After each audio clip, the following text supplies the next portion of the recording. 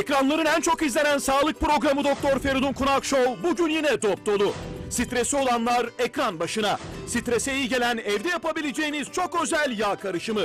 Panik ataktan kurtulmak için kendiniz yapabileceğiniz çok özel çay tarifleri. Az sonra Doktor Feridun Kunak Show'da.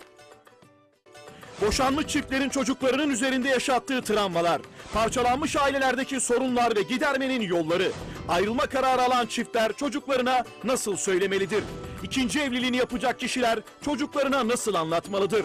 Aileler boşanma kararı aldığında çocukların yaşı önemli midir? Yazar Alişan Kapaklıkaya çiftlerin boşanması sonucu çocukların üzerindeki etkilerini anlatmak üzere az sonra stüdyolarımızda sizlerle. O zaman ruhunuzun iyi olması, biraz sonra Alişan kardeşimle de konuşacağız. Ruhunuzun iyi olması hepsinden daha önemli. Ama ruhunuzun iyi olması için halinize şükretmeyi öğreneceksiniz.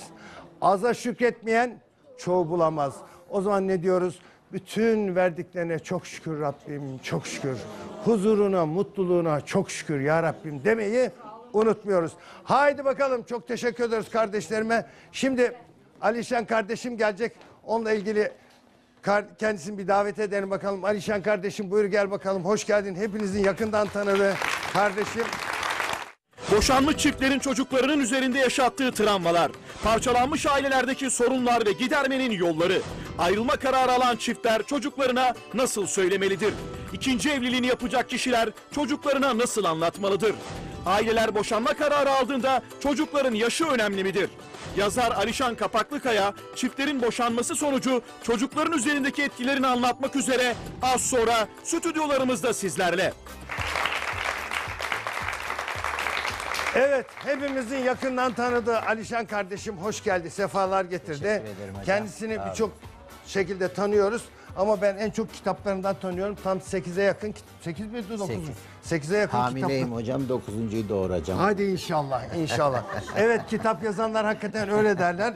Bir çocuğum daha oldu derler. Kitaplar bizim çocuklarımız gibidir. Bu bir, Evet. bir ay oldu çıkalı hocam. Bu Sonra- yenisi değil mi? Evet, ne evet. diyor? Sen yanımda ol yeter. Çok güzel. Çok teşekkür ederiz. Sağ olun. Şimdi bunlarla ilgili bunları... E, seyircilerimize hediye edebilirsiniz yayında veya şey. Tamam. Dur bakalım. O zaman bir soru soralım. Bilene hediye edelim. Mesela bir soru soralım. Şöyle ekrana kaç numaraya göstereyim. Şu bitki ne bitkisi? Şöyle birer tane de elinize vereyim. Paylaşın. Bu bitki ne bitkisi? Birer tane paylaşın. Yiyebilirsiniz. Kendi ellerimle topladım. Ben yiyip göstereyim. Bu bitkisi ne bitkisiymiş? Bilene bir, bilene bir tane kitap vereceğiz. Paylaşın, paylaşın. Bu bitki ne bitkisi? Bu bitki E vitamini var içinde. Karaciğer temizleyici özelliği var. Biraz sonra soracağım. Biraz sonra soracağım. Bilene de bir tane kitabını hediye edeceğiz hocamın. Evet şimdi. Sevgili hocam nereden başlayalım? Ailelerden başlayalım. Bu ailelerin gelin kaynana ilişkilerinden başlayalım. Çocuklarımızın okul meselelerinden başlayalım. Geçen gün bir haber okuduk. Bu haberde diyor ki liselerde hani bu arkadaşlıklarda erkek kız er, arkadaşlıklarında çok şiddete başvurmalar başlamış. Ne diyorsun hocam bu hususta? Hocam bu kitabın başlığında ne yazıyor şurada? Siz okur musunuz hangisini? Sevgi bahçesinin bahçıvanı annemle babama gıcıklık olsun diye ders çalışmıyorum. Bu kitabı okumadan önce. Şimdi hocam. Ne ekersek onu biçeriz diye bir sözümüz var mı? Evet. Çocuk küçükken ana baba arasındaki zıtlaşmalarda, tartışmalarda hiç farkında olmadan o huzursuzluğu içine emmeye başlar. Ruhuna. Çocuk. Evet. Tartışmalarda. Evet. Hatta e, siz hekimler daha iyi biliyorsunuz.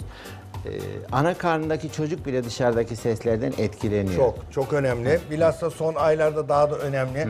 O yüzden biz ailelere hep diyoruz ki elini koy ona güzel sözler söyle. İşte. Güzel müzikler dinlet. İşte güzel hafif müzikler dinlet. Böyle sert şeyler söyleme diyoruz. Kavgalardan çok etkileniyor diyoruz. Biz gönül tenceresinde ne pişirirsek dil kaşığımızda onu ikram ediyoruz karşıya. Eğer kalbimizde huzursuzluk, sıkıntı, stres, öfke, kaygı pişiriyorsak korkular tarafından işgal edil, altına alınmışsak, korkularımız, endişelerimiz bizi işgal etmişse biz bu korkularımızı çocuklarımıza aktarıyoruz. Mesela benim annem derdi ki, bu arada sizi çok seviyor anne. Sağ olsun. e, ellerinden öpüyorum. Elif, Anne- annemin adı Elif. Elif anacığım ellerinden öpüyorum. Allah senden razı olsun. Elif ana bize dua et. Programımız güzel olsun. Güzel seyircilerimiz olsun diye dua et bize. Elif anam benim. Diyordu ki oğlum oku sırtını devlete dayak kurtulursun. Niye? Benim annem ameliyat olurdu. Köyde ya babam inek satardı ya tarla satardı. Eskiden sigorta migorta Yoktu, böyle şeyler yoktu, yoktu, ki. yoktu. Anamın bütün kaygısı neydi? Oğlum biz hastanede yatarken yanımızda bir tane işçi vardı. Onun ameliyat parası yoktu. Devlet ödüyordu. Sen de oku da bir işe gir. Ufak bir memur ol. Sırtını devlete dayak kurtulursun diye okuttu. Ya. Ben 16 sene devlette çalıştım. Gerçi sırtımı devletten çekince kurtuldum. Ayrı kurtuldum. Allah devletimize, milletimize zeval vermesin. Evet. Ama evet. kardeşim Da- başka yolda Daha ilerlemiş. çok hizmet ediyorum. Devletimi seviyorum. Doğru, tabii şimdi daha çok hizmet Türkiye ediyorsunuz, geziyorum hakikaten karış doğru. karış. Onun için Yurt bu- dışlarında çok konferanslar oluyor. Ben yurt dışında da karşılaştım kendisiyle. Hakikaten çok muazzam bir talep var orada da. Ee, bu arada 6 Ekim'de Genk'te olacağım. Beşiktaş, şey, Be- Belçika Genk'te. Belçika Genk. Oradaki misafirlerimize buradan duyuru yapayım. Hani haberleri olsun. Hadi şimdi. Hem Kaç bir daha konferans- söyleyelim kaçta? 6 Ekim'de 6 Ekim'de Beşiktaş Genk'teki Belçika'daki kardeşlerimizin haberi olsun. Eğitim ve konferansı sayfamdan da bakabilirler İnşallah. zaten. İşte benim annem kendi eksikliğini bana giydirdi. Hmm. Şimdi e, ne oluyor dolayısıyla? Eğer annem diyelim kendi kaynanasıyla geçinemiyorsa bunu gelinine yansıtıyor. Annem kendi babasıyla geçinemiyorsa bunu çocuğuna yansıtıyor. Hani ben annem bir örnek veriyorum. Toplumda gördüm ben bunu. Hocam bende 12 bin tane bilgisayar yokken mektup vardı. Bu mektupları ben 16 yıl el yazımla cevaplandırdım. Bir tanesi çok ilginçti. Şöyle diyordu. Keşke ben bir okey taşı olsaydım öğretmenim. Benim babam okey taşlarını okşadığı kadar benim saçlarım hiç okşamadı. Ben de size bir hikaye anlatayım. Bu çok önemli. Bakın çok iyi dinleyin. Bir kız çocuğu var. Kendiliğinden bir virüs girdi. Bu virüsten sonra bacaktan aşağısı tutmuyor. Yürüyebilmek için iki kişi kollarından tutuyor ve lise öğrencisi böyle böyle yürüyor. Dinleyin ama. Biz bu çocuğu tedavi ederken yanında da ondan bir yaş büyük ablası geliyor. Ona yardım ediyor, onunla ilgileniyor. İstanbul'u güzel bir aile, zengin bir aile. Maddi durumları falan çok iyi. Aile geçimi çok iyi, güzel demekteki maksadım oydu. Fakat bir gün baba dedi ki hocam seninle çok acil önemli bir şey konuşmamız lazım. Biz bu hafta gelelim mi? Olur gelin. Geldiler. Ankara'da bizim yerimiz. Geldiler. İşte muayene ettik, şey yaptık falan. Hocam dedi, hasta kızdı değil derdim dedi. Ne oldu hayrola? Ya dedi ablasına ne oldu? Ne oldu şu mektubu bir oku. Kız kendi kendine bir yazı yazmış. Ne yazmış biliyor musun? Diyor ki, keşke diyor ben yürüyemeseydim de annem babamla kız kardeşimle ilgilendiği kadar benle ilgilenseydiler. Ya Yani hastalığa razı. Affedersin çişini büyük abdestini alıyorlar. Ona razı. Diyor ki annem babam kız kardeşimle çok ilgileniyor. Her gün ona sarılıyorlar. Bana sarılmıyorlar diyor. Vallahi kendi gözlerime gördüm yazıyı. İşte bak kardeşimin söylediği çok önemli. Evet. Çocukların arasında ayrım yapmamak, Evet, ilgili davranmak değil mi hocam? Bir tanesi de ben anlatayım hocam. E, Bu ben Türkiye'mizi gezdim. Karış karış gezdim. E, Kars'a gittim hocam. Vali Bey dedi ki şu e, yetiştirme yurduydu o zaman atları. Bir konferans yapalım. Tamam dedim. Gittim. İki buçuk saat gülmekten yerlere yatırdım çocukları. 12-18 yaş çocukları bunlar. Gençleri. Sonra Ankara'ya geleceğim. Bir gün sonra arabanın kapısını açarken birisi böyle yaptı. Abi bir dakika dedi. Aha ben bu yurtta kalıyorum dedi. Dün var mıydın dedim. He dedi. Ee, biliyorum bir şey söyleyeceğim sana. Ne dedim? Ben her gece ağlarım dedi. Niye dedim? Anam babam ayrılmışlar. Beni yurda vermişler dedi. Çıkıp gitmişler. Bizim sınıftaki çocuklar işte geri babam ödevin var mı diye sordu. Anam dersini yaptın mı diye sordu. Ana babalarını beğenmiyorlar. Hiç insan ana babasını beğenmiyor, Allah beğenmez mi der ya? Keşke benim bir babam olsaydı. Ödevini yaptın mı lan diye bir tokat vursaydı. Bilseydim ki arkamda dağ gibi babam var. Ben bunu arkadaşlar ana babasını bahsettikçe ben yorganı böyle başıma çeker ağlardım gizli gizli. Dün amca hiç ağlamadım. Niye lan dedim. Amca dedi sen bizi o kadar güldürdün ki. Sonra sen gittin. Yorganı başıma çektim. Seni de sağ yanıma yatırdım. Baba şefkati gibi sana sarılıp uyudum amca Allahu dedi. Ekber. Sen bizi güldürdün ya. Allah da seni, ailenin çocuklarını güldürsün. Ha. Bakın şimdi bir görüntümüz var. Görelim bir veteremiz var. Bu veterede çocuklar ne duruma düşüyor? Anneler babalar ayrılmaya kalktığında bir görüntülerimiz var. Görelim ondan sonra devam edeceğiz konuşmamıza. Kedi kullanın ve çocuğu alalım. Sizden rica ediyorum.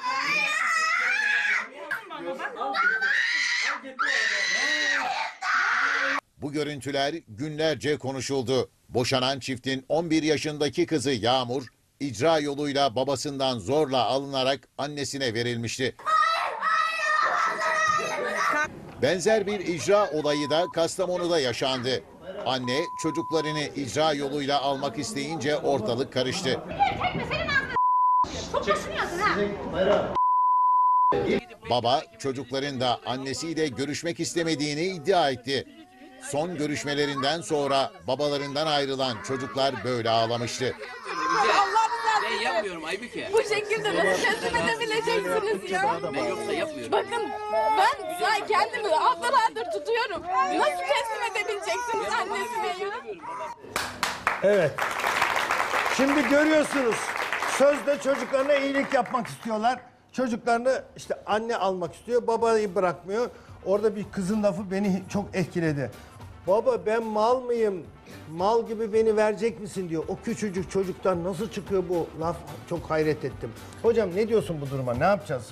Böyle bir durumda Vallahi- çocuklara nasıl davranacağız? Anası babası onun büyümemiştir. Yani on, onun anası babası da çocuktur. Çünkü biz çocuklarımızı el alem ne der tanrısına yani sözü maksadını aşmasın. El ne der diye güçlü bir şey var. Güç var üzerimizde, otorite var. El aferin desin diye çocuklarımızı yetiştirmeye kalktığımızda onların iç huzurunu, iç barışını sağlamadığımızda çocuklar büyüdüğünde sıkıntılı oluyor. Ve insanların büyük bir kısmı, gözlemlerime göre söylüyorum, e, kendisiyle kavgalı. Bir insan kendisiyle kavgalı oldu mu etrafıyla barışık olamıyor. Bir insan kendisiyle barıştı mı etrafında kavga edecek kimse kalmıyor. O ana baba, o kavga edenler çoğunun kavgası kendisiyledir. Kendi çocukluğuyladır. Mesela ben de bunu yaşadım. Şöyle bir şey yaşadım ben. Mesela annem çocukken bizim oyunumuzu çok bozardı. Hani ben ortaokula giderdim, gelirdim. Annem derdi ki üstün başın temiz olsun. Şöyle işte güzel giy, pırıl pırıl giy. Yoksulluğun olduğu, elektriğin olmadığı bir dünyada yaşıyorduk. Eskişehir'in Sivrisar ilçesinin Sığırcık köyünde. 62 doğumluyum bir de ben. Varın yok olduğu, yokun çok olduğu bir zamanda. Şimdi biz oynardık, annem gelir bir bozardı. Niye üstünüzü batırıyorsunuz diye. Çamaşır makinesi yok. İki gün çamaşır yıkar elle. Öyle. tokaçlarla, Yorulurdu. şeylerle. Tokaçla. Ben az tokaçlamadım anama. Ben anama kızardım. Sonra bir evlendim. Bir- Birçok anama kızgınlığım, öfkem oluyormuş. İçime atmışım ya. Sonradan fark ediyor insan bunu. Sonra ben evlendim. Eşimle tam 15 yıl kavga ettim. Hocam. Sürekli. Eşim ne derse, niye sen bana karışıyorsun? Eşim bir şey söylüyor. Sen niye beni rezil ediyorsun? Sen niye beni bozuyorsun diyordum. Eşim böyle yapardı. Ya ben sana ne yapıyorum? Hocam 10 bin öğrenciye yemek yaptı biliyor musunuz? Ben Adana'da öğretmenlik yaptım. 1500 eve geldi benimle. Ve o gelen mektuplara cevap yazarken hep yanındaydı. Derdi ki 50 kişilik e, yemek yaptım. Çocuklara söyle gelsinler. Yemek yerken sen niye beni rezil ettin dedim. Eşim böyle yapardı. Ne yaptım ki? Niye böyle dedim demedim. Diyecektin ama. Hocam. Diyecektin ama. Evet.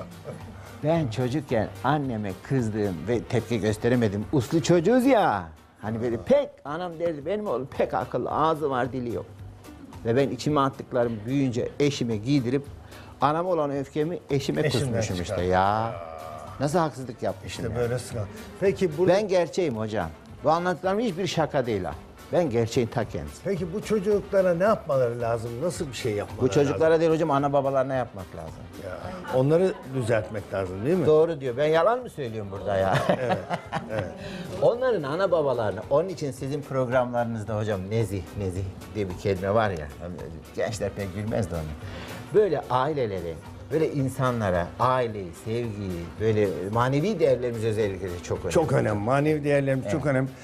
Ekibimiz sokaklara çıktı. Sordular sizlere. Bakalım neler konuşmuşlar. Onları da konuşalım. Ondan sonra devam edeceğiz.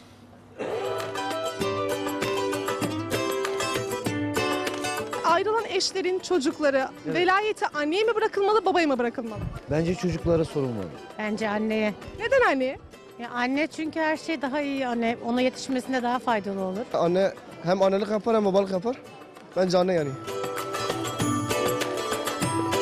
Eğer gerçekten çocuğun gelişmesi için, çocuğun e, iyi yetişmesi için hangi vasıflar e, anne, e, e, annede veya babadaysa ona verilmesi lazım. Yani bunu iyi araştırılması lazım. Anneye. Neden anne? Çünkü anneler daha iyi bakar.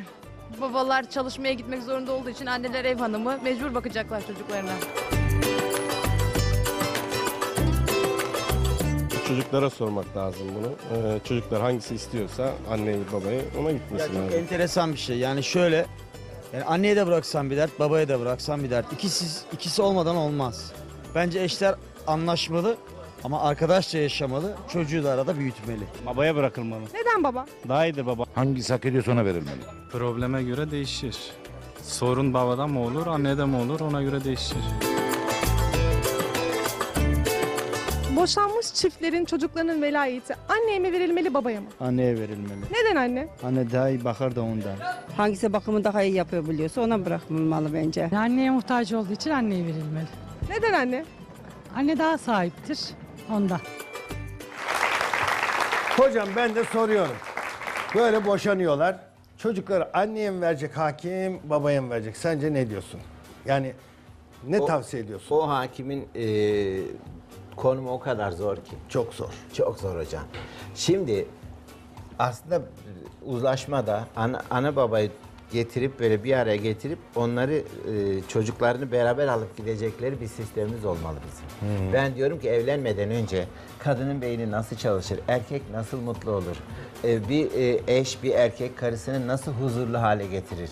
Hocam araba kullanmak için 3-5 ay kursa gidiyorduk önceden. Bir televizyonun bile kılavuzu var. Bir yerimiz ağrıdığında sizlere başvuruyoruz evlenmeden önce bir haftalık ne olur bir kad- böyle iletişim teknikleri, doğru kişiyle evlenme yolları, hani karakterler uyuyor mu, kişilikler uyuyor mu diye bir böyle seminer alarak, Evet. bir eğitim alarak e, insanların evlenmesine icazet versek, izin versek, evlilik ehliyeti versek. Doğru. Düşün- Hocam trafik polisi beni durdurdu. Dedi ki ehliyet yok dedim. Git yeni üniversitedeydim. Git dedi ehliyet al 6 ay kursa gittim. Biliyor musunuz yani böyle motor böyle çalışır, şu böyle çalışır. Ben eşimle kavga ettim. Kızım bir köşeye büzüştü böyle baba baba biz korkuyoruz dedi. Oğlum bir köşeye büzüştü. Anne biz korkuyoruz dedi. Ve biz e- eşimle yolda giderken birbirimize çemkirerek düşman gibi yürüdük. Kimse beni durdurup evlilik ehliyetin var mı diye sormadı Sorma. hocam. İşte görüyor musun? Sevgili kardeşlerim şimdi reklama gideceğiz. Ama reklamlardan sonra kardeşimle çok özel bu çocuklara nasıl davranmamız lazım? Esas burada problem çocuklar. Anne baba nasıl işini hallediyor? Çocuklara nasıl davranacağız? Ne yapacağız? Burada konuklarımızla da konuşacağız. Reklamlardan sonra buradayız.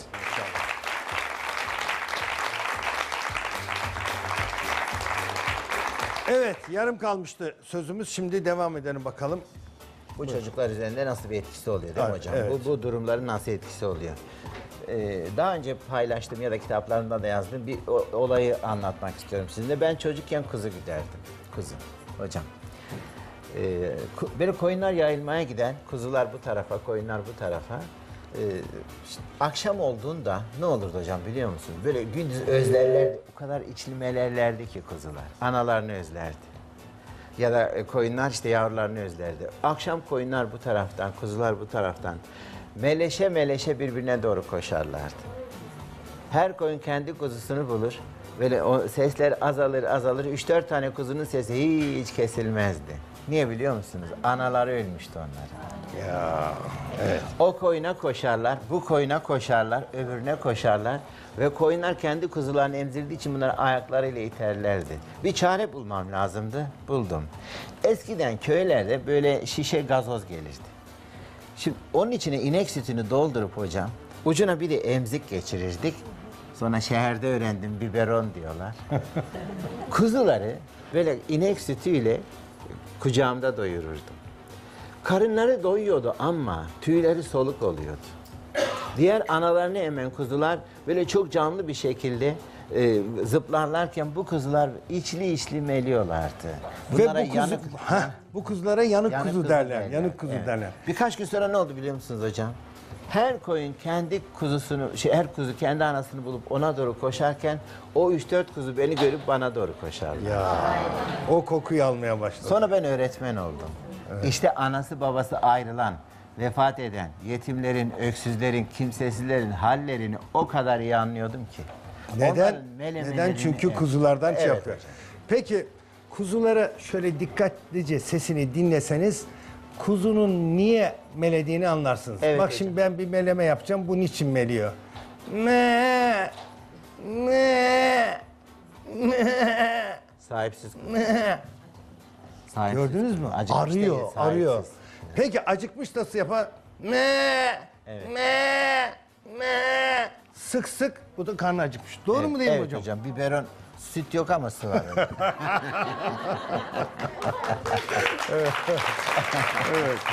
Şimdi bir telefonumuz varmış. Hemen bir telefon alalım. Ondan sonra devam ediyoruz. Bir telefon aldık. Alo. Alo. Hoş geldin kardeşim. Buyur kardeşim.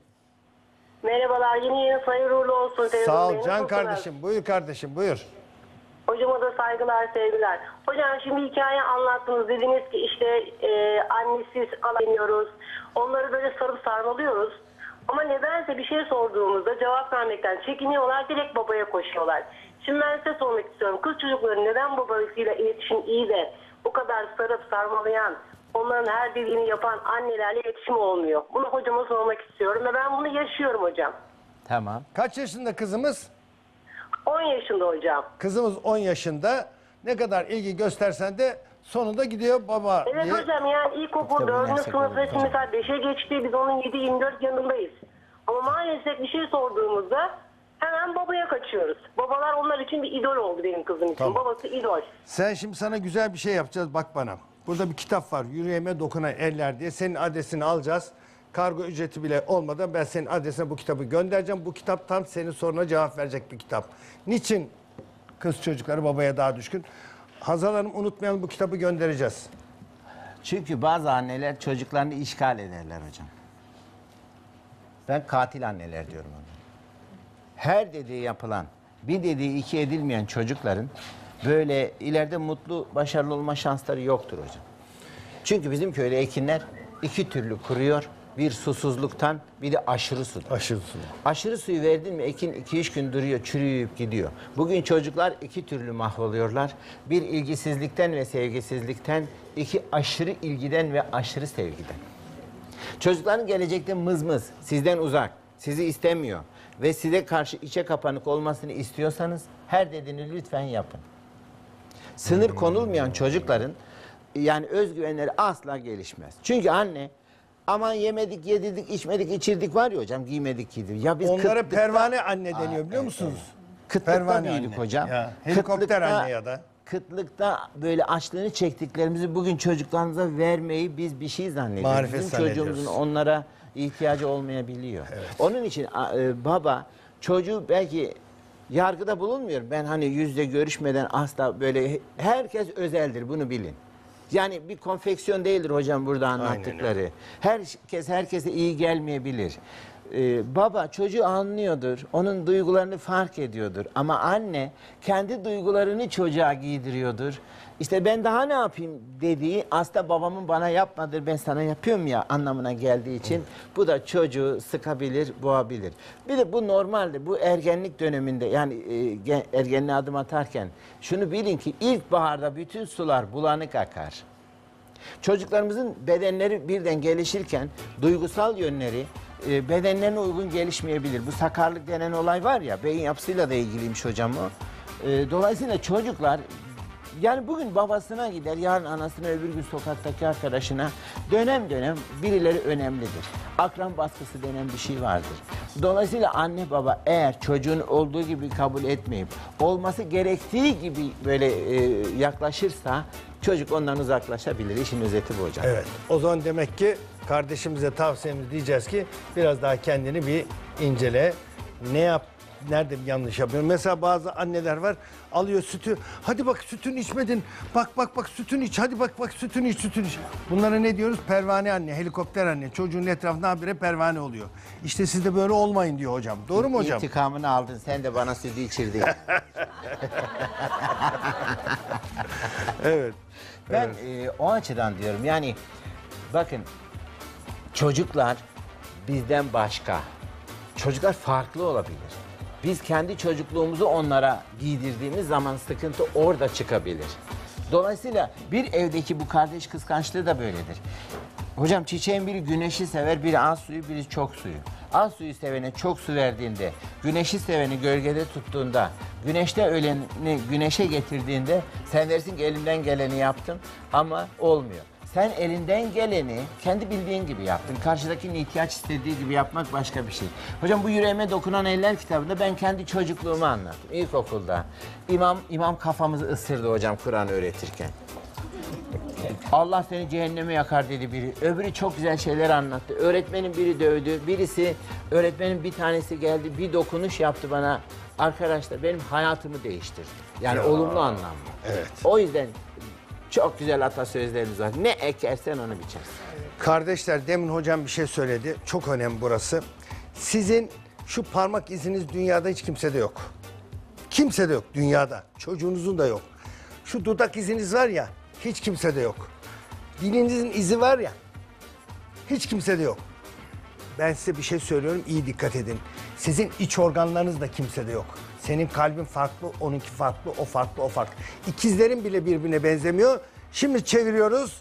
Herkesin ruh yapısı farklı. Ya. Hocam dedi ya o çocuğa başka, o çocuğa başka. İkizlere bile davranırken iki ikizin birbirinden farklı olduğunu göreceksiniz.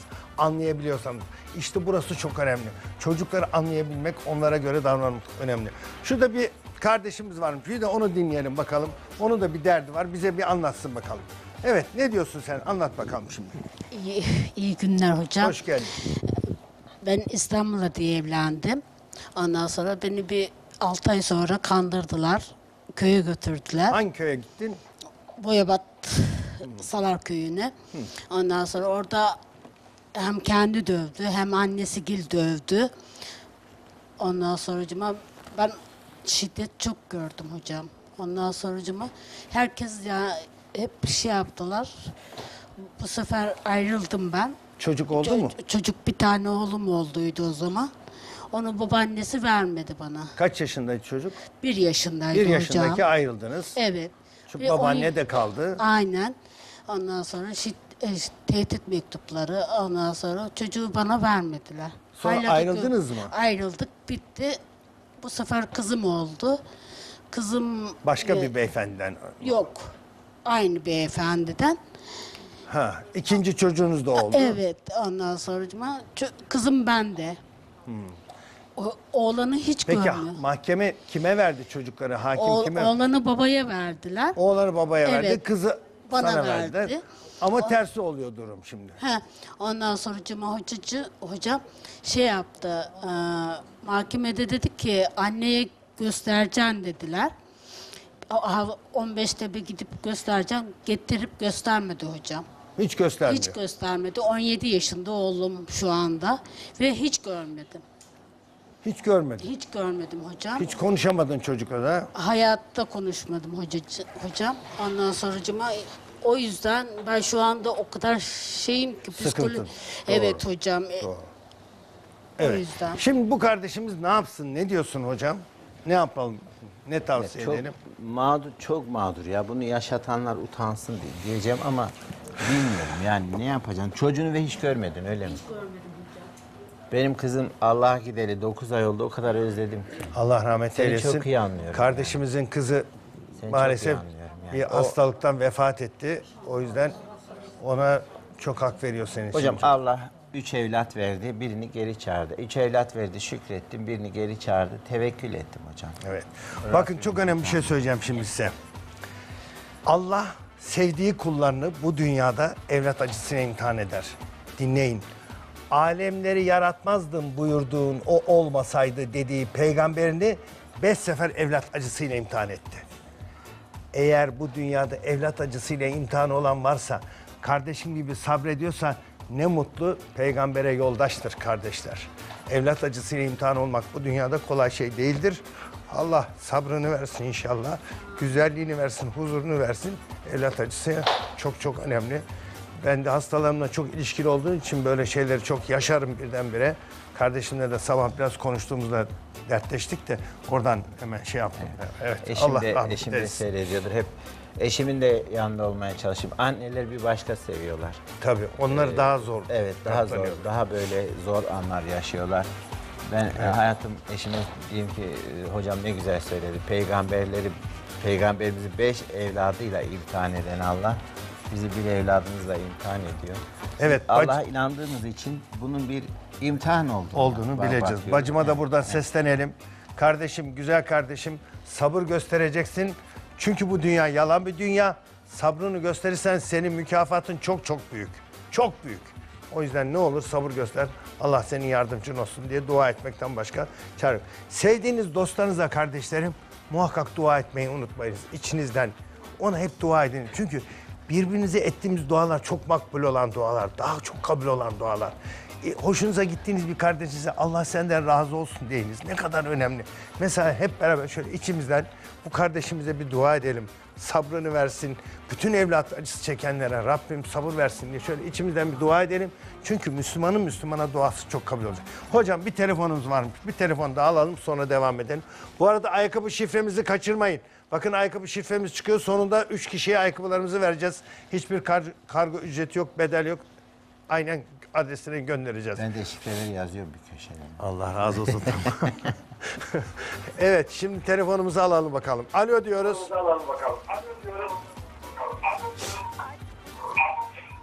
Alo. Alo. Hoş geldin Can kardeşim. Hoş geldin. Telefonun televizyonun sesini kısabilirsen canım kardeşim. Tamam hocam kısıyorum. Tamam bir ta- Ha. Hocam e, ben bir soru soracaktım. Bu arada yayınınıza hayırlı uğurlu olsun. Amin. Amin. Buyur kardeşim dinliyoruz. Hayırlı sabahlar. Amin. Hocam şimdi bende aşırı böyle bir e, sinir, stres, gerginlik oluyor. Hocam çok doktora gittim yani. E, ilaç kullanıyorum. İlaç kullanmama rağmen yine aynı Şimdi gerginliklerim stres devam gerginlik ediyor. için biraz sonra çok özel bir çay yapacağız. Çok özel bir çay yapacağız. Herkesin evinde kolayca yapabileceği çok basit bir çay yapacağız. Bir de çok özel bir yağ yapacağız. Bu yağla da nasıl stresten, panik ataktan kurtulmak için akupunktur noktaları var. Onları göstereceğim. Sakın kaçırma. Biraz sonra anlatacağız onu. Hazır her şeyimiz burada. Biraz sonra Çok göstereceğim. teşekkür ederim hocam. Sağ Sen olun. hiç kaçırma. Bak çok özel güzel karışım anlatacağız şimdi. Bir telefonumuz daha varmış. Onu da alalım hemen. Alo diyelim. Ben telefona bir şey demek istiyorum. Ha Öbür özür dilerim. Dur telefondan hemen. soruyor, öbüründen Peki soruyor. Tamam. Evet bir Ankara'dan kardeşimiz arıyor. Hoş geldin, hoş geldin. Hoş bulduk hocam. İyi günler. Programınız hayırlı olsun. Buyur kardeşim, buyur. Hocam Alişan Bey'e bir sorum vardı. Tabii, buyur ikinci hocam. Sınıfa, gi- kızım ilkokul için ikinci sınıfa gidiyor ama ne öğretmenleriyle ne başka biriyle hiç kimseyle ağzını açıp bir kelime dahi konuşmuyor. Evde baba, anne, abla dahil diğer hiç kimseyle konuşmuyor ve bu artık bu çok yıpratmaya başladı. Ben konuşmayacağım artık kimseyle diyor. Öğretmenimiz de sesini falan daha hiç kimse duymadı. Diyoruz sürekli konuş kızım, yardımlaş, paylaş arkadaşlarınla bizimle ama kapı dışarı çıktığımız an dışarıda hiç kimseyle konuşmuyor. Evdeyken konuşuyor mu? Evde hareketli, cıvıl cıvıl hiç yani böyle susma huyumuz yok. Kardeşleriyle ilişkisi iyi. Çok iyi hocam. Allah'a çok şükür ama Hocamı hocamı dinliyoruz şimdi bakalım. Ben Tamam. öncelikle e, küçük çocuklar konusunda uzman olmadığımı ifade etmek istiyorum. Ben daha ziyade ortaokul ve lise. E, bu çocuklar dışarıda herhangi bir olumsuz bir şey duyduklarında, böyle rencide edildiklerinde, aşağılandıklarında kaplumbağa gibi içine kapanıyorlar. Zannediyorlar ki dışarıda konuşursam herkes ayıplar, herkes yargılar, herkes bir suç bulur ve onu suçlar diye düşünüyorlar. Mesela küçük bir çocuk tahtaya kaldırılıp öğretmen ona bunu mu yapamadın, bunu mu bilemedin diye bir şey söylediğinde birkaç sınıfta kendini bilmez çocuk da ona güldüğü zaman çocuk bunu içine atar. Hocam insan beyni hayalle gerçeği ayıramıyor beyin hayal ettiği bir şeyi gerçek sanıyor. Bu olay bir kere oldu. Bu çocuk ortaokula geçtiğinde, liseye geçtiğinde kolay kolay parmak kaldırıp soruların cevabını söyleyemez. Niye? Onun bilinçaltı, onun işte e, iş dünyası hemen çocuğu korumaya alır. Der ki sen yıllar önce bunu yaşamıştın, öğretmen sana laf etmişti, birileri gülmüştü. Sen tahtaya kalkıp bir daha söylersen sana e, gülme tehlikesi var. Rencide olma tehliken var. Onun için ağzını açma diye bilinçaltı onu koruma altına alır hocam. Ne yapsın peki? Bir çocuk pedagogundan götürsün Evet. hocam. Biraz ciddi bir şekilde Evet. bir çocuk pedagogu. Ya da onu çok iyi, hani Ankara'dan mı arıyor? Ankara'da. Ofise getirsin hocam. Ankara'da evet. Buyursun gelsinler. Biz onunla size konuşalım. telefonunuzda adresini gönderelim. Evet. Ankara'daki yeri var kardeşim. Orada kardeşimiz yardımcı olacak. tanışalım. Çocukla tanışınca- Çocukla bir tanışalım Evet, bakalım. şey Ne oluyor, yapabiliriz diye. olmaz hocam. Tavsiyelerde bulunsun. Doğru. yani. Evet. Birinciye cevap vereceğim demiştim birinci kardeşimize. O stres yaşıyorum diyen değil mi hocam? Evet. Şimdi insan bazen ben şey derim buzdağına benzer. Böyle dışı güler, içi ağlar. Ya da insan e, e, kaporta güzel olur bazen motor çürük olur hocam. Hani araba öyledir ya çok Aynen. güzel. araba. Ya da evin dışı boyalıdır, içi viran olmuştur. Bazen insanın iş dünyası, o sıkıntı, stres böyle kaynar insanın içinde. Kaynar, kaynar. E, soba yandığı zaman bacadan duman çıkar. O dumanı kapatırsanız zehir böyle içe yayılır, odaya da- odaya dolar ve insanı zehirler. İnsan da ifade edilmeyen duygularını içine atar ve ifade edilmeyen duygular böyle dolaşmaya başlar. Dolaşır, dolaşır gelir vücudun bir yerine park eder. Hocam ya göğüs kafesi olur, ay omuzlarımda yük var, diz kapaklarım ağrıyor diyenler hayatın zorlukları arasında ezilmiş insanlar olabilir. İşte boğazım yutkunamıyorum diye konuşamıyor olabilir. Ve bu kişi içine ata ata ata stres dediğimiz şey budur. Ve dışarı çıkmak ister. Bir gün gelip böyle bum diye patlar. Cinnetler, cinayetler, o çocuğunu gidip mahkemeyle almak isteyenler yıllarca eşine söyleyemediklerini çocukların üzerinde gerçekleştirmeye çalışan insanlardır. Ben bunu daha uzun uzun bir mahsur yoksa hocam şu sen hiç kendini yaşadığın mı kitabında anlattım. Yani e, yöntemlerini, tekniklerini nasıl kurtulur insanlar bundan. Bu hatta stüdyoda bugün süremiz herhalde bana verilen süre belli. Bir dahakinde burada canlı olarak da yapabiliriz hocam. Siz uygulamalar yapıyorsunuz ya. Yapıyoruz tabii. Bir kişiyi böyle çağırıp ilk sıkıntılarını böyle derecelendirip sıfırla on arası kaç ona kelimeler Tamam. Bir daha sefer onu yapalım. Evet, yaparız. Ama ben Onun size yolları var. ben size şimdi çok basit sıkıntılarda ne tür bir çay yapacağım. Hocam bir çay yapalım. Ben hemen şurada bir şey vereyim. Nasıl yapacağımızı anlatalım. Çok kolay, basitçe bulabileceksiniz. Her yerde bulabilirsiniz. Baharatçılardan sarı kantoron, sarı kantoron bitkisi alacaksınız. Bir de melisa alacaksınız. Yaklaşık iki bardaklık suyun içine, iki bardak kaynar suyun içine, iki bardak kaynar suyun içine Şöyle ocağı yakacağız. Kaynatacağız bunu. Bu bunu su kaynadıktan sonra su kaynadıktan sonra bakın tam bir tutam deriz. Bir tutam ne demek? Şu üç parmağınıza dört parmağınıza şöyle aldığınız bir ölçüdür. Bir tane bundan bir ta- yani sarı kantonondan bir tane de melisa'dan. Böyle attık. Sevgili kardeşlerim bunu tahta kaşıkla şöyle karıştıracağız. Bu güzelce bir dakika kaynayacak. Zaten kaynayan suyun içine attık bunu. Ben acele ettim. Kaynayan suyun içine attık. Bir dakika kadar kaynadı. Ondan sonra indireceğiz. Kapatacağız üstünü ya da böyle de bekleyebilir. Bir dakikada demlenecek. Sonra süzeceğiz. İsterseniz bunun içine birazcık limon damlatabilirsiniz. İsterseniz birazcık tadını beğenmiyorsanız limonla beraber bal koyabilirsiniz. Bunu gün boyu 2-3 bardak içebilirsiniz. Mükemmel bir şekilde stresinizi rahatlatacaktır. İçtikten, içtikten yarım saat sonra hemen rahatlama hissedersiniz. Bir de size bir daha yapalım hızlı anlattım. Yani kaynatalım. Tamam olur. Tamam tamam çok güzel tamam o zaman mesele yok. Şimdi ben size bir de bir akupunktur noktası göstereyim. Bu akupunktur noktası vücudun çok önemli noktası. Nasıl noktası? En büyük streste, en büyük sıkıntıda kullanacağınız nokta. Hangi nokta? Elimizi kapadık. Bakın şurada bir çizgi bittiği yer şurası. Kardeşimde de göstereyim. Tam burası. Buraya iki parmağınızla şöyle giriniz araya. Böyle tatlıca sıkacaksınız bir yer acıyacak. Acıdı mı canım dostum? Hafif. Heh, İşte bu acıyan noktayı bulacaksınız. Her yer değil, tam acıyan nokta. İşte bu akupunktur noktası çok önemli bir nokta. Her türlü kızgınlığınızda, her türlü stresinde, her türlü şuranız bunalır gibi, içinize bir şeyler basıyormuş gibi olduğunda hemen şuraya biraz masaj yapınız. Eşinizde bir olay oluyor böyle sıkıntılı var, böyle bir şeyler oluyor. Sen şöyle bir yere bir otur. Şöyle derin derin nef- nefes al. İki parmağdan hocam. İki bak önce bunu yapacağız sonra bunu yapacağız. yani Şöyle oturup isteyenler isteyenler içinden şöyle hafif hafif bismillah bismillah diyebilir. Ya da normal şekilde yapabilirsiniz.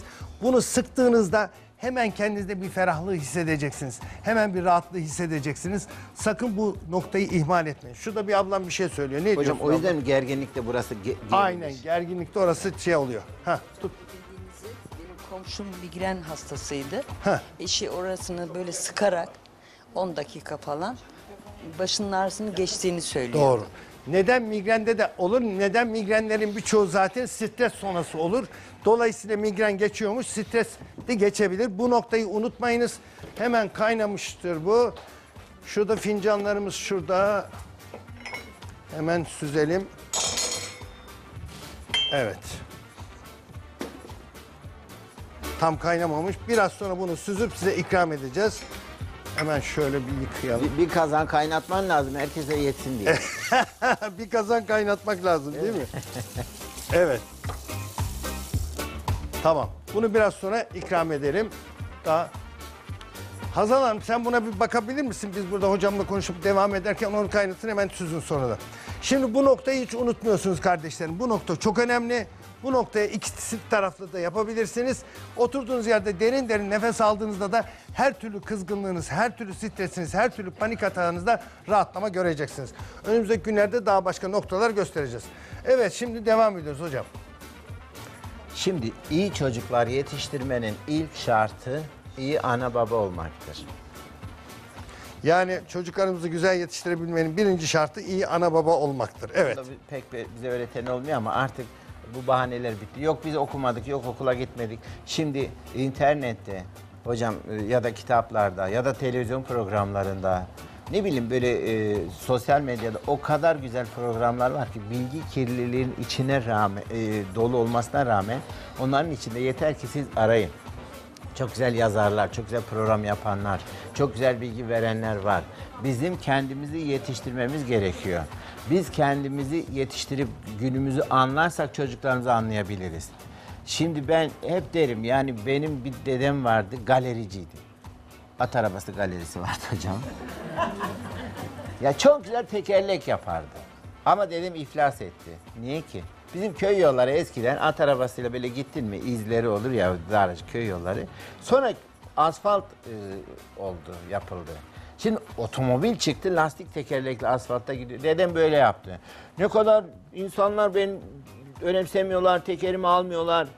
Dedim dede artık e, değişti at arabası yok. Ama ben çok güzel teker yapıyorum. Dedem kendi zamanına göre çok güzel tekerlek yaptı. Biz ana baba olarak kendi çocukluğumuza göre çok iyi ana baba olabilecekken bugünkü çocuklara yeterli olmayabiliyoruz. Bizde bulamadıklarını sosyal medyada araştırmaya başlıyorlar. Yani hocam cennete giden yolların dikenlerle kaplandığı, cehenneme giden yolların güllerle süslendiği bir dünyada yaşıyoruz. Bak buraya çok dikkat edeceğiz o zaman. Evet.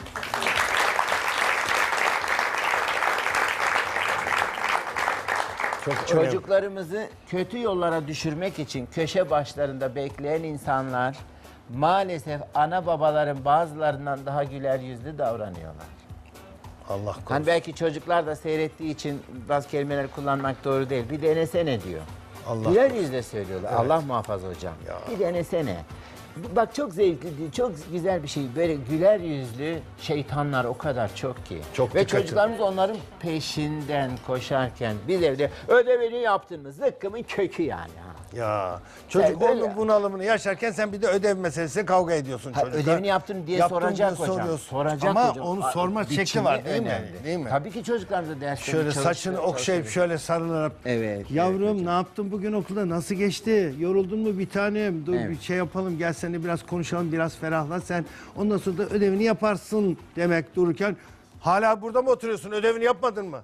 Al başına bela. Yapası varsa yapmaz çocuk. Hocam yapsa bile mesela bizim Ankara'da siz de şey e, bilirsiniz gelen vakalardan. Geliyor çocuk tıp fakültesini bitirmiş hocam böyle yaptı. Annesi zorla getirmiş. Bir Alişan Hoca'ya gidelim de işte bir seans yapalım da bilmem ne de geldik. Çocuk hocam diyor ben müzisyen olmak istiyorum. Annem dedi ki hayır ben çocukken doktor Secdenize olmak çok istedim. Ben doktor olamadım sen doktor ol. Ben diyor doktor oldum. Hocam tıp diplomasını almış. Tıp diplomasını götürmüş annesine demiş ki anneciğim al bu Hasan, senin istediğin başarı. ikram. Bu Bunu da senin ikram et. istediğin başarı. Diplomayı diyor anneme verdim. Anne ben şimdi işte Amerika'ya müzik yapmaya gidiyorum dedi diyor. Bir kişi kendi yüreğinin sesinden geleni dinlemezse başkalarının sesinden müthiş rahatsız olur. Bir öğretmen kalbinden konuşmazsa, bir öğretmen içinden geldiği e, gibi çocuklarına böyle sarılacak, konuşacak bir şekilde öğretmenlik yapmazsa o her çocuk sesi ona batar ha. Bir hekim, işi, Aynen. Ben hekimsiniz. de doktorlar Evet, için siz- o söyleyeceğim. Siz verin hocam. Bir doktor eğer o hastasıyla o hastalığı yaşamazsa kardeşler o olmuyor. Hiç o doktor ona veremiyor. Enerjisini veremediği zaman o hastada iyileşme olmuyor. Çok enteresandır. Sen o hastanla yaşadığın zaman o hasta sana hemen inanıyor. İnandığı zaman zaten yüzde seksen iyileşiyorsunuz ya. Bak çok önemli bir şey söylüyorum size. Eğer bir hastayı kendinize inandırabilirseniz o kadar güzel bir beyin yapmış ki Rabbim bize. O beyin zaten iyileşmeye başlıyor. Bütün hormonları salgılıyor. Hastalıklar niye oluyor biliyor musunuz? Bu beyin irtibatını kestiğimiz için ben iyileşmem, ben hallolmaz dediğiniz zaman oluyorsunuz Evet, hasta. Ama derseniz ki ya bak adam ne kadar güzel söyledi.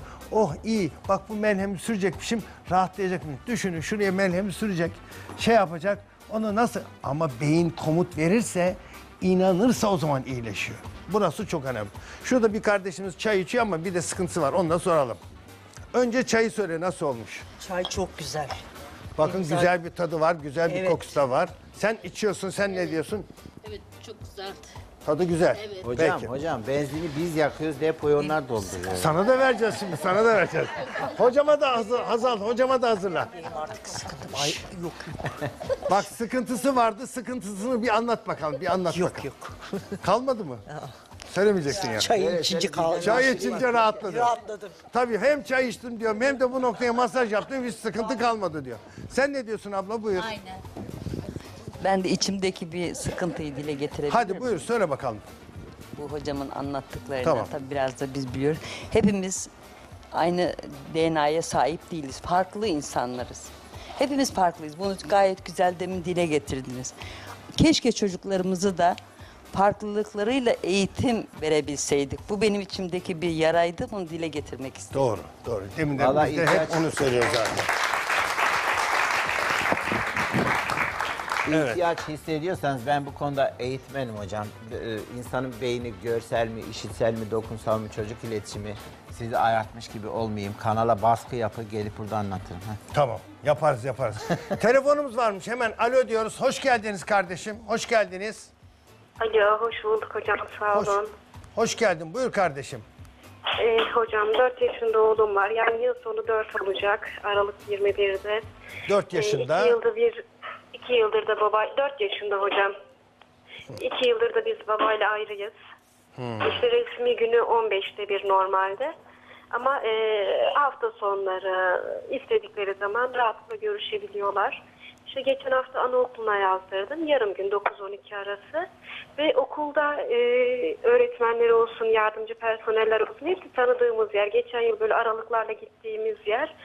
Bu yıl hocam e, ilk hafta babayla gittik. Hani o yalnızlığı hissetmesin dedim. Birer saat durduk. İşte kimi zaman iyiydi, kötüydü öyle geçiştirdik. Hafta başı da hocam e, ben götürmeye başladım. Bu sefer babadan çok e, yüz aldığı için Cuma günü hiç girmemişti okula. Pazartesi günü de ben götürdüm. İlk iki gün e, evet öğretmenin de hatası vardı. Negatif bir elektrik aldı. E, şey yapamadı. e, devam edemedi. İşte öğretmeni sevmediğini söyledi. Üçüncü gün idare sağ olsun sınıf değişikliğine götürdü. Çok tatlı ilgili alakalı bir öğretmenimiz var. E, aşağı yukarı 18 kişiler sınıfı. Sonra ne oldu 18'i çok netice? güzel. Nasıl hocam? Netice ne oldu? Yani hocam e, ona geleceğim işte E, 18 kişi çok güzel koordine olmuş ama benim oğlum ağlıyor ağlıyor ağlıyor kesinlikle girmiyor. Yani Ya sınıfa bugün hiç girmekte girmedi. zorluk çekiyorsun. Bu, bugün hiç girmedi. En son sinirlendim ve aldım eve getirdim artık. Nasıl davransın, ne yapsın? Ne yapsın hocam? Ne yapsın? Genel bir şey söyleyeyim. Cennet e, kokulu evlerde ancak çiçek gibi çocuklar yetişebiliyor. Bu annenin e, o çocukla ilgili hocam uzmana götürüp onu anlaması Evet, lazım. evet. Ben küçük çocuklar konusunda hani e, o güveni sarsacak cümlelerim Evet. olmaz zaten de. E, annenin o çocuğu anlayacak şekilde kendini yetiştirmesi lazım. Evet. Bir uzmandan da yardım alması uzmandan lazım. yardım atması. Çocuk- çocuk, çocuk e, psikologları pedagoglarından, var, çocuk psikoloğundan. psikiyatristleri Evet hocam, var. Onlardan yardım alması Ben lazım. özür dilerim. Hani Estağfurullah, sorulan estağfurullah. sorulan Yok, çoğunu yok, bilmiyorum. Estağfurullah, estağfurullah, estağfurullah. Evet, şimdi şimdi gelin kaynanalar ve dedeler aramızda bir şeyle röportajları var. Bir görelim bakalım. Gelin kaynana karışımına bir girelim bakalım. Bir röportajlarımız varmış. Onları bir görelim bakalım. Gelininiz var mı? Evet var. Nasıl aranız gelinlerle? İyi. Birinden iyi memnun değilim ama birinden memnunum. Gelin ve kaynana Türk toplumunda aralarında dedikodunun eksik olmadığı iki figür. Özellikle kaynanalar bir araya geldiği zaman sohbetlerin vazgeçilmez gündemi gelinleri olur. Bizim gelin bir de pasaklı. Gezmekten ev işi yapmıyor. Çamaşırı aklına gelirse yıkar. Hiç böyle arkadaşlarınız arasında gelin dedikodusu olmuyor yani. Yok. Hiç. Benim gelinim dört dörtlük. Diğer arkadaşlarınız yapıyor mu gelin dedikodusu mesela? Bilmem. Eltinize ya bizim gelin şöyle bizim gelin böyle ne olacak diye hiç böyle bir ufaktan böyle dedikodu gibi. Etmiyorum çünkü gıybet etmiyoruz biz. Şöyle benim bir prensibim var. Ee, benim aileme yeni geldi. Yabancı bir aileden. Ben ona 5 sene müddet veriyorum. Oo, gelinim bir tane. Yok. Ulan duymasın. Oğluma da söylüyorum. İnsanın oğlu iyi olmayacak oğlum. Gelini iyi olacak. Kayınvalidelerle gelinler arasında genelde böyle zaman zaman Sürtüşmeler Şimdi buradaki kardeşlerimiz hep gelinlerini methettiler ama ca- canlı yayında böyle söylediler. Acaba Ya, ya, şeyde nasıl ya, değil mi? Topluma ge- gerçek hayatta olabilir. Onlar da vardır yani. Onlar olduğu için Olabilir. söylüyor olabilirler. Aileler hocam facia yaşanıyor. Ben buradan devlete, ye- yetkililere, Aile Bakanlığı'na bağıra bağıra her konferansımda söylüyorum. Aileler cinnet getiriyor ama bazen e, çekişmeler yüzünden, insanların makam hırsları yüzünden, e, ne bileyim yani ya da siyasi ya da e, mahalledeki işte dedikodular yüzünden ailelerin sesleri duyulmuyor. Geçen bir hanımefendi bana bir gelin yazmış e, Şırnak'tan. Demiş ki burada e, teröre sıkılan, terörün sıktığı silah sesleri bizim feryatlarımızı bastırıyor. Ne olur sesimizi duyun. Ne olur biz ailede sıkıntılar yaşıyoruz. Bunların çözümlerini bulamıyoruz. Bunlara dair çözümleri nasıl bulacağımızı bilmiyoruz. Sesimizi duyuramıyoruz çünkü kurşun sesleri e, teröristler lanet olsun ya. Ben Allah bu ülkemizin Yani var ya Ama çok şükür havasını- kurtuluyoruz artık. Kurtuluyoruz. Şey, evet, kurtuluyoruz. evet, evet. Az kaldı. O açıdan Bir kötü bir şey gördüğünüz zaman kardeşim o olaya müdahale edeceksin, edeceksin. Edemiyorsan, edemiyorsan ona maddi, manevi ve duayla karşı koyacaksın. Duanızı sakın esirgemeyiniz. O askerlerimize, o polisimize, o devletimize ne olur dua ediniz. Benim duamla ne olacak demeyiniz. Dağdaki bir çobanın duası, dağdaki bir kardeşimin duası bir anda dünyalar abad olur. Ne olursunuz dualarınızı devletiniz, milletiniz için esirgemeyiniz. Her gece yatmadan önce şunu düşününüz. Ben bugün kendim için ne yaptım? İki, ben bugün ailem için ne yaptım? Ben bugün devletim, milletim için ne yaptım? Ve çok önemlisi beni yaradan Allah'ım için ne yaptım? Her gece bu dört soruyu kendinize sorunuz. Doğru mu hocam? Evet hocam. Bu soruyu sorup da cevabına dair bir adım attığımızda işte O gece çok güzel olur. geçmiştir. Dua sadece böyle bütün sorumluluklarımızı Allah'a atmak değildir. Bugün İslam alemi Allah'ım bizi kurtar. Allah'ım küfre karşı bizi muzaffer eyle. Allah'ım ben sınavda beni başarılı kıl. Allah'ım evimi cennet et. Sen ben bir iki el okey atayım da geleyim Allah'ım diye bir zihniyet var. Yani Aynen. bütün Ya. sorumluluklarını Çaba yok, çalışma çaba yok, yok, dur. sorumluluk yok. Hocam iman var ya iman sorumluluk almaktır. İnanç sorumluluk almaktır. Yani bir şeye inanmak, okula gitmek sorumluluk al, evlenmek sorumluluk atmaktır, almaktır. O yüzden e, gelinlerin bir bir süre sonra kaynana olacaklarını, kaynanaların da bir süre önce gelin olduklarını unutmamaları Hiç gerekiyor diye düşünüyorum. Evet, Bütün problemlerimizin Evet. kökeni iletişimsizlikten kaynaklanır. Çok önemli. İnsanlar kendi kafasında düşündüklerini, karşıdakinin anlayacağını, anlamasını bekledikleri için anlatmadıkları zaman e, iletişim kurulmaz. Dolayısıyla insanlar e, karşıdakinin bazen falcı, büyücü, böyle medyum olmasını bekler. Sen niye beni anlamıyorsun? Ne anlattı ki? E, anlasaydın duruşumdan, Evet. bakışımdan anlasaydın. Ya ben falcı mıyım Allah aşkına? Ben, ya falcı da anlamaz da.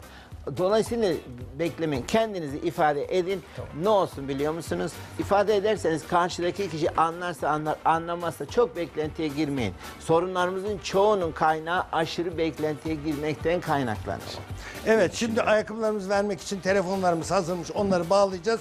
Ama bu arada bir çiçeğim var. Benim çok sevgili dostum Sevil Tuğrul, Tuğgul kardeşim yollamış. Çok teşekkür ederim kendisinize. Sağ olsun, var olsun. Şimdi ayakkabılarımızı vermek için hemen bir telefonumuzu alalım. Alo diyelim. Kim aramış? Alo. Alo bu. Hoş geldin kardeşim, hoş geldin. Kolay gelsin.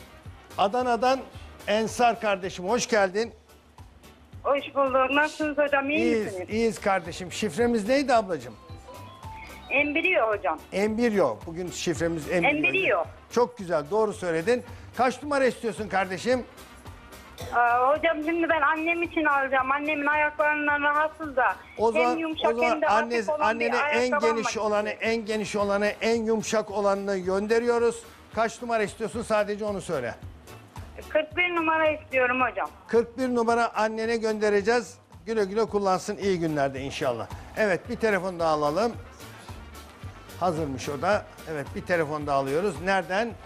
Konya'dan Ayşe kardeşim. Konya'dan Ayşe kardeşim. Hoş geldin kardeşim. Hoş buldum hocam. Nasılsınız? İyiyim canım kardeşim. Sen nasılsın? İyiyiz elhamdülillah. Allah iyilik versin. Neydi şifremiz kardeşim? Embriyo. Harikasın. Kaç numara istiyorsun? 38 numara hocam. 38. Kendin için mi? Kim için istiyorsun? Kendim için hocam. O zaman bak şöyle spor modeller var. Ondan mı yollayalım sana? Ne dersin? Yoksa Spor olsun hocam. yoksa böyle yumuşaklardan mı gönderelim? Spor olsun hocam. Spordan gönderelim. Bir bantlı var, bir bantsız var. Ne diyorsun? Bantlı olsun hocam. Bantlı olsun. Tamam. Güle güle Evet. kullan diyelim. Nasıl buldun programı? Ne diyorsun programla ilgili? Çok güzel hocam. Hayırlı olsun yeni döneminiz. İnşallah. Alişan kardeşimize soracak sorun var mı açmışken? Hocam bir kitap da ben alabilir miyim? Çocuklarıma da hayır hani Sana, ne sana ayakkabıyı önerebilirim? verdik. Hem ayakkabı hem kitap buradakilerine haksızlık olur. evet. Tamam teşekkür ederiz. Bir telefonumuz daha bağlanıyor mu? Hemen bağlanmış. Alo dedik. İstanbul'dan Yunus kardeşim hoş geldin. Hoş bulduk hocam. Nasılsın Aşure gününüz Yunus'um? İyi mübarek misin olsun. kardeşim? Sağ olun iyiyim. Sizler nasılsınız? Ben de iyiyim çok şükür. Söyle bakalım şifremiz neydi Yunus? Embriyo. Peki kaç numara istiyorsun? e, 44 numara. Kendin için mi istiyorsun? Ben kendime. Tamam 44 numara göndereceğiz. Böyle erkekler de çok şanslı böyle yumuşacık bir ayakkabı. Hiçbir yerde bulamayacak böyle bir ayakkabı. Bir de erkeklerde bir avantajı var.